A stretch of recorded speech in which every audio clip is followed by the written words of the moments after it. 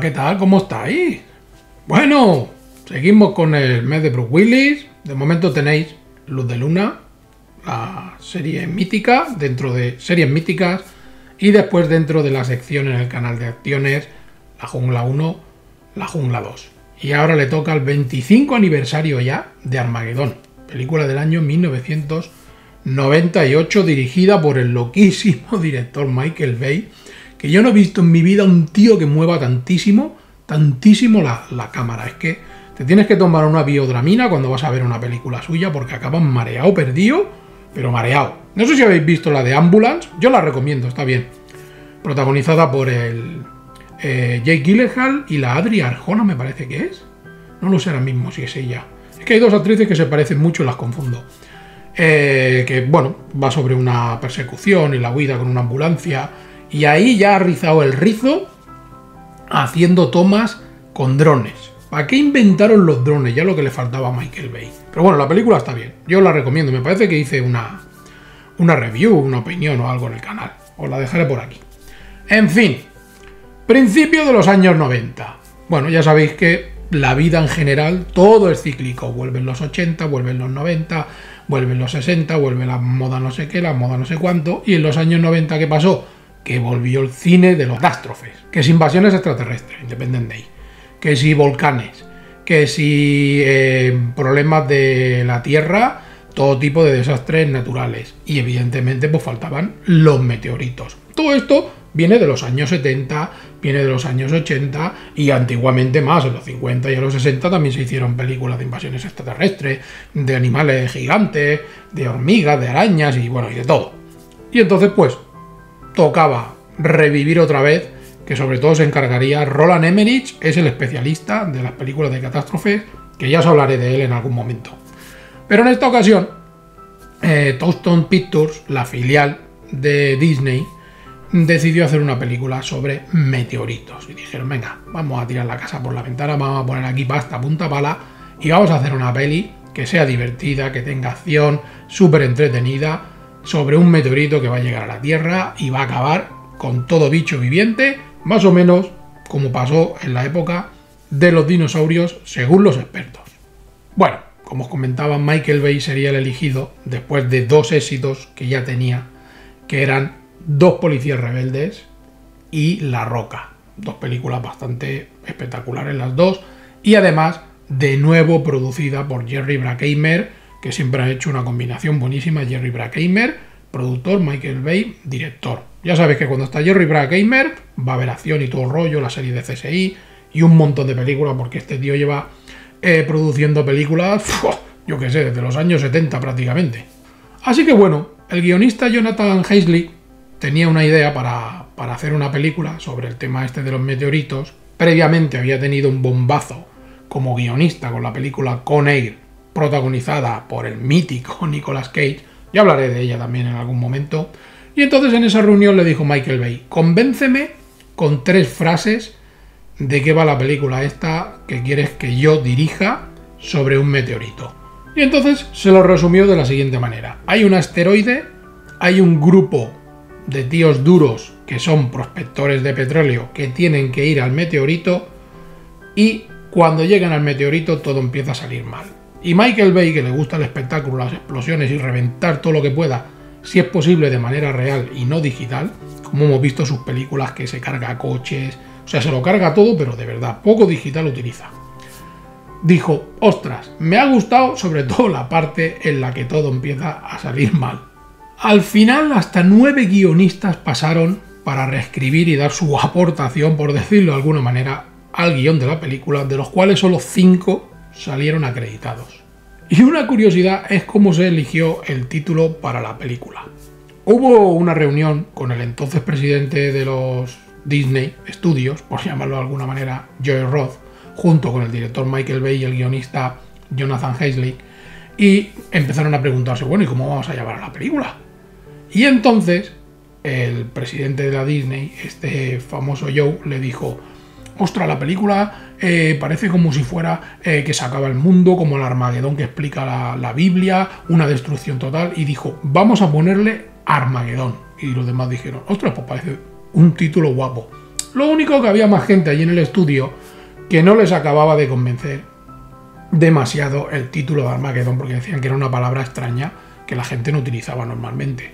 Y entonces este tío, eh, vamos a llamarle Joe, al presidente de Disney, dijo, vosotros tranquilos que cuando se estrene la película en verano, la gente va a saber decir Armageddon igual que dice patata o igual que dice Hagensdan, que es una palabra también complicada, pero ya todo el mundo pide los helados de esta marca. Cuando fueron a registrar el título ya lo tenía registrado Warner Bros. Y entonces el presidente de Disney le dijo, ¿por qué no hacemos un trueque? Vosotros me dejáis el título de Armageddon y yo os doy los títulos de Conspiración, aquella película de Mel Gibson y Julia Roberts, que Mel Gibson está loquísimo, y después la de Un lío padre. Le dio dos títulos por uno y Warner accedió y ya tenían el título para su película. En un principio a Michael Bay se le propuso rodar en los estudios que la Fox tiene en México, donde se rodó la película Titanic, que hicieron aquellos pedazos tanques de agua o piscinas, como quieran llamarse. Pero Michael Bay dijo que no, que él prefería rodar en los estudios que tenía la Disney en Burbank, sobre todo en el estudio número 2, que es uno de los estudios más grandes que en aquel momento tenía Disney. Para que tengáis una idea de lo grande que era el estudio, medía 42 metros de largo por 27 de ancho y 13 y medio de alto. Pero Michael Bay, que está loquísimo a la hora de rodar, les dijo que solo les ponía una condición, que le dejaran eh, excavar 9 metros para abajo porque quería hacer unas tomas de cámara que tenía pensadas para que se viera la peli más espectacular. O sea que al final, con el agujeraco que hizo dentro de los estudios, pasó a tener una altura de 22 metros de alto todo el plató este número 2 de la Disney. Y esta extraña petición, curiosamente, de escarbar ahí en el suelo todas las obras estas, le costó a la Disney 6 millones de dólares. O sea que ya empezó el presupuesto a engordarse y todavía no había empezado a rodar la película. Bueno, al final construyeron allí dentro el meteorito que tenía 150 niveles diferentes, alturas diferentes. Eh, utilizaron un montonazo de paneles de esto de contrachapado. Utilizaron bidones eh, de espuma de 500 litros para hacer toda la recreación de, de lo que viene siendo el meteorito. O sea, se gastaron allí una pasta y una cantidad de medios alucinantes. Tardaron en acabar la construcción del meteorito cuatro meses, una brigada de 150 personas. Una cosa alucinante.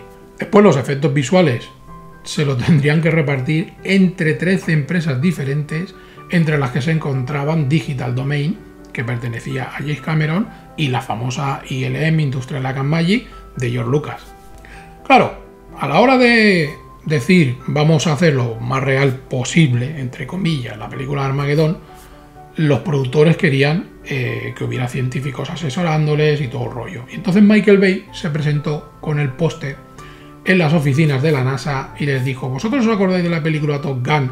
que empezó a reclutar a un montón de gente y un montón de gente se quiso apuntar para ser piloto cuando se estrenó la película. Que por cierto, tenéis un vídeo de curiosidades de Top Gun, os dejo por aquí el enlace.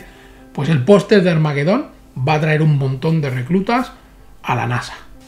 El film, para que fuera un poquito verídico lo que más o menos pasaban, que después ya vemos que es una flipada, contó con el astrofísico Joseph Allen que había participado en las misiones Apolo 15 y Apolo 17 como asesor.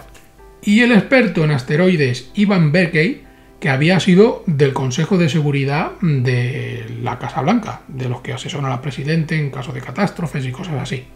El equipo de rodaje pudo acceder a las instalaciones de la NASA en Cabo Cañaveral y coger algunas referencias con cámaras y tal del despegue del transbordador Columbia. Para ello utilizaron 15 cámaras, 12 que estaban dentro del emplazamiento donde estaba la lanzadera del transbordador, a unos 9 kilómetros aproximadamente, para coger y que todo quedara bien registrado y después ellos cómo posicionar las cámaras y todo el tema a la hora de eh, hacerlo digitalmente. También tuvieron la oportunidad de rodar una segunda nave que fue la Atlantis, también para ver a ver cómo las cámaras las podían colocar, cómo podían hacer tomas por aquí, tomas para allá, que fuera todo más o menos real. En la película también se pueden ver imágenes del avión espía SR-71 y además los trajes que salen son trajes reales de los astronautas que suelen utilizar en sus misiones que pesan más de 30 kilos. Aparte, se filmaron eh, escenas en Nueva York, en Denton y en un montón de localizaciones más y el rodaje duraría unas 12 semanas aproximadamente. Finalmente, con un presupuesto de 140 millones de dólares, consiguió 540 millones de dólares de recaudación. Y eso que la crítica la puso a bajar de un burro y que se le echó mucha gente entendida del cine eh, encima de la película porque decían que esto era inverosímil. La NASA también estuvo eh, diciendo que todo lo que habían hecho, que parece mentira que estuvieran asesorados. Todo eso lo explicaré un poquito más adelante. Pero bueno, ya sabéis muchas veces que crítica y público no van de la mano. La gente va al cine a divertirse y esta película pues es divertida, es espectacular. No te la crees ni a la de tres, pero ostras, es que se disfruta y además te ríes. Es que es, que es como entretenimiento, es una peli buena. Bueno, tenemos a Bruce Willis como Harry Stamper, el jefe de la compañía petrolífera y además el que está dentro de la nave Libertad, porque hay dos naves, si os acordáis, Libertad e Independencia, y este está como jefe del equipo de prospección de la nave Libertad. Y hay algunas curiosidades sobre por qué Bruce Willis acabó haciendo Armageddon, porque en principio mm, ganas no es que tuviera. Bruce Willis acabó haciendo la película de Armageddon porque en 1998 tenía algunas deudas bastante gordas y entonces llegó a un acuerdo con Disney para protagonizar tres películas. La primera sería Armageddon, la segunda sería El Sexto Sentido y la tercera El Protegido, que de estas os hablaré el próximo mes de febrero, aprovechando el estreno de la nueva película de M. Night Shyamalan, la de Llamar a la Puerta. Y entonces tenía tanto desinterés y pasaba tanto de rodar la peli que dijo, bueno, venga, la rodo y me la quito de encima, que le ofrecieron un 15% de los beneficios de taquilla y él dijo, ah, ¿qué más da? Si esta película Meteorito igual ni funciona. ¿Y sabéis cuánta pasta perdió el tonto? 45 millones de dólares que se hubiera metido en el bolsillo. Qué buena decisión que tomaste, Bruce Willis. Hay una curiosidad sobre la escena del, meteorito, eh, al final cuando tiene que detonar la bomba y que se ven las imágenes de su hija y todo eso, que, que como una especie de flashback que dicen que tienes cuando te mueres, que te pasa tu vida así como rápidamente por la mente. Y para prepararse Bruce Willis lo que hizo, para conseguir que llorar, es que delante se puso fotos de sus hijas, ¿sabéis? Las que tuvo con Demi Moore y tal, eh, para que, pensando en que se iba a morir, que no las iba a ver más y todo el rollo, pues realmente le salieron las lágrimas. Vamos, un actor del método. Curiosamente, a Bruce Willis no fue el primero que tanteó Michael Bay para rodar la peli y hacer el papel de Harry, porque él había rodado con Sean Connery la película de La Roca, había quedado súper contento porque Michael Bay adoraba a Sean Connery, pero Sean Connery dijo que no y entonces pues finalmente pues la protagonizó Bruce Willis dentro de este acuerdo de tres películas. Después tenemos a Ben Affleck como AJ, líder de la otra nave, o del otro transbordador, como le queráis llamar, la Independencia, y además eh, prometido de Grace, la hija de Harry, que está interpretada por Liz Tyler, que luego os hablo de ella. Curiosamente, cuando Ben Affleck participó en esta película, eh, todavía no era muy conocido. Después ya le vendría el boom del Oscar junto con Matt Damon por el guion de la película del indomable Wing Hunting y a partir de ahí empezaría a subir como la espuma y empezaría a ganar pasta a punta pala y a participar en muchos proyectos. Por ejemplo, participaría junto a Michael Bay de nuevo en la película de Pearl Harbor, que también es una película loquísima. Curiosamente, la trama esta romántica entre AJ y Grace se incluyó en el guion después del éxito que tuvo la película Titanic. Y entonces, muchas de las películas de aquella época de acción y todo el rollo tenían que incluir alguna historia amorosa dentro de, del guion, porque claro, Titanic había recaudado mucho dinerito y la gente quería ver algún tema de historia amorosa y aparte para atraer al público adolescente. Después tenemos a Billy Bob Thornton como Dan Truman, el asesor de la NASA que idea todo el plan para destruir el meteorito y que curiosamente se llama de apellido Truman en homenaje al 33 presidente de los Estados Unidos, Truman. Bueno, de Billy Bob Thornton, actor, escritor, guionista, director, de todo, lo conocéis por infinidad de películas y de series, por ejemplo la serie de Fargo, la película Un plan sencillo dirigida por Sam Raimi, que además eh, fue nominado a un Oscar y tiene un carrerón que alucina y en el tema del salseo, toda la relación que tuvo con Angelina Jolie, que aquello fue una locura. Lo que pasó con Liv Tyler fue muy curioso para que hiciera de Grace, la hija de Harry y novia de AJ. Resulta que ella venía de hacer películas independientes, había hecho la película Belleza Robada, y cuando le ofrecieron el papel estaba dudosa. Llamó a su padre, eh, la banda de rock Aerosmith, y le dijo, oye mira, mm, papá, tengo dudas porque esta película va a ser muy comercial y todo el rollo, y no sé si aceptarla porque yo me gusta hacer más cine independiente y tal. Pues vamos a ver, yo que soy tu padre, una estrella de rock, le vas a decir que eh, la película va a ser comercial y que va a ser popular y que todo el mundo me va a conocer. ¿Y qué problema hay en la fama? vamos, va a tener dinero para aburrir. Y bueno, supongo que la conocéis por la trilogía del Señor de los Anillos, que creo yo que es lo que más fama le ha dado y más dinero, haciendo de Arwen, la trilogía esta que dirigió Peter Jackson y que para mí es espectacular. Después tenemos a Will Patton como Chick, amigo de Harry, miembro de la libertad. A Will Patton lo hemos visto en infinidad de películas, 60 segundos, El cliente. Debutó con la película Buscando a Susan desesperadamente, eh, protagonizada por Madonna. Y lo hemos visto en un montón de... Incluso en series, en la última que yo lo he visto, sale haciendo eh, del que tiene el rancho eh, vecino de la serie de Other Ranch, que la tenéis en Prime Video, que os he hablado de ella, dejo por aquí enlace, protagonizada por Josh Brolin. Después tenemos a Steve Buscemi, Madre mía, este tipo es que es la pera. Como Rod Hound, el geólogo especialista en todo el tema de las rocas, eh, todo el tema del el meteorito y en qué está compuesto el terreno al que tienen que ir y cómo pueden coger y eh, agujerear y taladrar y todo el rollo para poner las bombas para reventar el meteorito y tal. Steve Buscemi es la bomba, ¿eh? Este tipo ha participado, yo no sé, en la cantidad de películas. Lleva 50 años en el cine porque empezó muy joven y ha hecho películas de todo tipo. Casi siempre ha hecho papeles así un poco de excéntrico, de friki, de tipo raro, y de psicópata y de todo este tipo de, personajes un poco odiosos. Pero la verdad que es un tío que tú lo ves y a mí por lo menos pues, me parece simpático. Después tenemos a Michael Clark Duncan como oso, eh, el bestia que también está en la tripulación de la Independencia. Y a Michael Clark Duncan lo hemos visto Mm, en la versión aquella regulera de Daredevil como Kingpin protagonizada por Ben Affleck.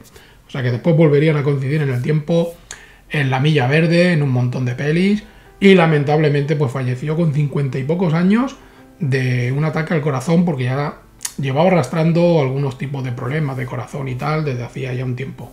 Después tenemos a Peter Stormar como Lev Andropov, el piloto ruso de la Estación Espacial Mir, que a este también lo hemos visto en un montón de pelis y en un montón de series de secundario, también haciendo de chungo, tipo como Steve Buscemi. Es un tío que tú lo ves y dices, hostia, este lo mismo puede hacer un papel que digas, hostia, vaya tipo más asqueroso, de malo, que en otros te cae súper simpático. También súper conocido, Peter Stormer. Después tenemos a William Fichtner, el coronel eh, William Sharp, el piloto de la libertad, que también a este actor lo hemos visto en muchas películas de Michael Bay en series y tal. En una de las últimas series que lo hemos visto es haciendo de novio eh, de, la, de la serie aquella de Mom, que hace de, la madre de la protagonista, que es la Ana Faris, y sale haciendo de minusválido, que va con silla de ruedas, porque había sido especialista de cine y se quedó en una silla de ruedas, en un accidente y tal. Ahí es lo último que he visto yo de este, de este actor.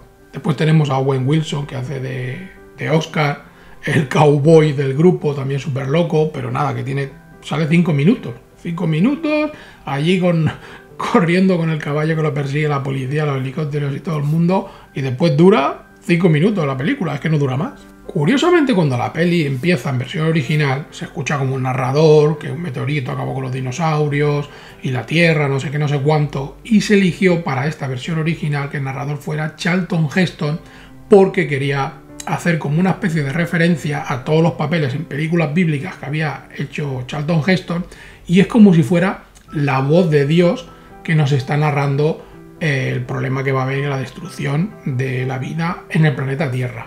alucinar. Bueno, la película tuvo cuatro nominaciones a los Oscars, efectos visuales, efectos de sonido, sonido y canción, por la canción esta de Aerosmith. Pero también tuvo siete nominaciones a los premios Razzie como director, como película, como actor principal Bruce Willis y otros tantos más. La banda sonora está compuesta por el compositor Trevor Rabin, pero sobre todo es conocida por eh, algunas canciones que se incluyen dentro de la misma de diferentes grupos de rock, pero sobre todo las dos canciones que incluye la banda Aerosmith. La más conocida, I Don't Want to Miss a Thing, que bueno, que todo el mundo la ha tarareado y fue una canción que en los 90 la petó, fue la canción que estuvo nominada a los Oscars se puso en el número uno de la famosa lista esta de Billboard y la verdad que la eh, canción lo petó. Pero ahora os voy a explicar la historia de cómo llegó esta canción a la banda sonora. Resulta que en el año 1997 Steve Tyler recibió una llamada de Jerry Bruckheimer que sí quería participar en una película que lo iba a petar, incluyendo cuatro o cinco canciones de su grupo para la banda sonora. Finalmente, buscando el tema de la canción y todo el rollo, se reunió con la compositora, con Diane Warren, eh, en su casa y entonces le tocó en el piano, le cantó un poco de qué era la canción y automáticamente Steve Tyler quedó prendado. La otra canción que se incluiría en la banda sonora del grupo Aerosmith sería What Kind Love Are You On? Y el álbum tendría tanto, tanto éxito que en Japón, en Japón se convirtió en el mega número uno y llegó a vender más de 400.000 copias.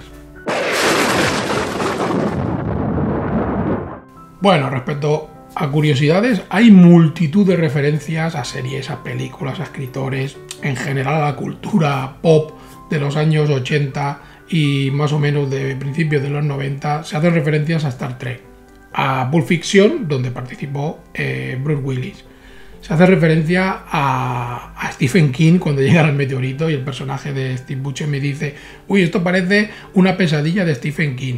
Eh, se hacen referencias al Capitán América, pero de los cómics, porque todavía el UCM mm, no estaba por ahí. Y un montón de cosas más. Una curiosidad es la escena aquella que le hacen las peticiones todo el equipo de, Harry, el personaje de Brooke Willis, que dicen, queremos que vuelvan las cintas de nueve pistas, queremos no pagar impuestos para nunca más y todo el rollo. Pues esto fue una escena improvisada. Resulta que Jerry Bruckheimer, el productor, le dijo a cada uno de los miembros del equipo, de los actores, que escribieran qué pedirían si se encontraran en una situación similar. Todo eso lo escribieron y cuando iban a rodar la escena se la pasaron los papeles a Brooke Willis y entonces él se puso pues, a ojear, como vemos en la peli. Todo eso fue improvisado. Pues mira, el personaje de no sé qué me pide esto, el personaje de no sé cuánto me pide lo otro, pero todo fue improvisado y la, esa escena queda súper chula porque además te partes. Después otra curiosidad son las escenas finales que salen de la boda de AJ y Grace, que están grabadas con una cámara eh, Super 8. Y fue una idea que Ben Affleck le dijo a Michael Bay, pero él le dijo, yo no tengo ninguna cámara Super 8.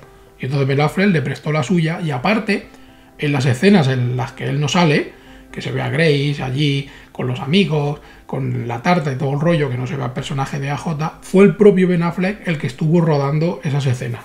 Aparte, todas las escenas estas que se ven que se están tirando el pastel y todo el rollo, fue porque era la toma final y fin de rodaje de la película. Y si veis el making of, acabó Michael Bay de pastel, vamos, hasta las cejas. La película, la NASA la utiliza para entrenar a los nuevos eh, astronautas y todo el rollo porque contiene más de 140 errores eh, científicos y como ejemplo malo se la proyecta a los que son eh, nuevos candidatos a ser astronautas. Vamos, para alucinar. Dicen que la película está llena de incoherencias científicas, de un montón de aberraciones y sobre todo el tema de hacer estallar el meteorito con una sola bomba nuclear, que vamos, que le hace cosquillas aunque escarbes en el suelo, que eso lo hubiera hecho cosquillas. Pese a eso, como os he comentado antes, la NASA tuvo el detalle de dejarle rodar algunas cositas y todo el rollo, incluso ponerse los trajes a Brooke Willis y a Ben Affleck, unos trajes que valen 3 millones de dólares cada uno, ¿eh? Para flipar. De hecho, Armageddon es la primera y la última película en la que la NASA les ha prestado los trajes a cualquier actor para rodar, porque ha dicho, a ver si se lo van a cargar y, aquí hay un dinero que alucinas. Además, Brooke Willis y Ben Affleck fueron los primeros civiles en entrar para rodar las escenas aquellas que están en la piscina, haciendo pruebas del taladro y todo el tema, que estuvieron rodando cerca de una hora, pues fueron los primeros civiles eh, que les dejaban entrar para rodar esas escenas dentro de las instalaciones de, la NASA.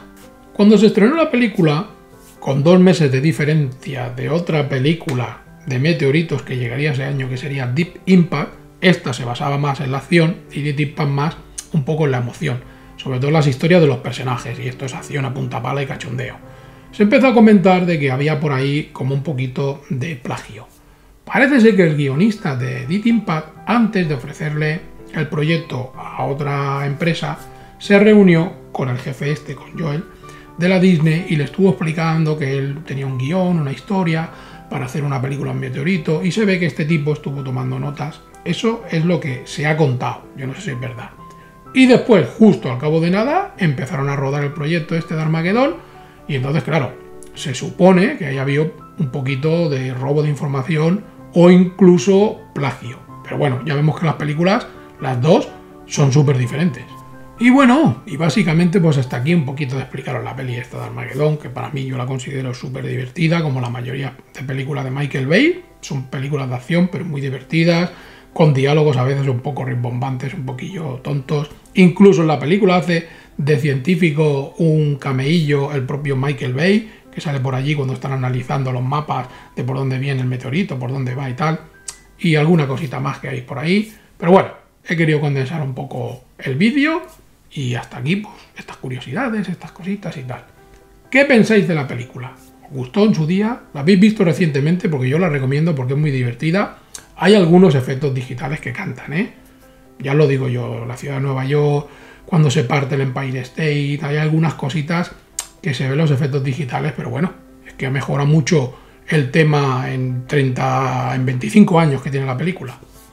Y, en fin, dejadme comentarios, si os gustan este tipo de peli de Michael Bay y todo el rollo, dar like, suscribiros, la, el gracias con el corazoncito y en la S si podéis, si queréis y podéis colaborar con el canal y todas esas cositas.